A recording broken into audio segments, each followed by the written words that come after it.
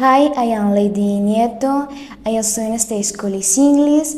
Today I want to tell about my experience in State School English. My experience in State School English is good because I have learned mm, many things.